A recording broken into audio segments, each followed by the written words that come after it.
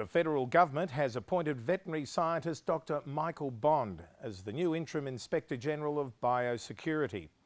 Agriculture Minister Joel Fitzgibbon said Dr Bond's role would be to provide independent oversight of the national biosecurity system for two years from the 1st of July. Michael Bond has a veterinary science background.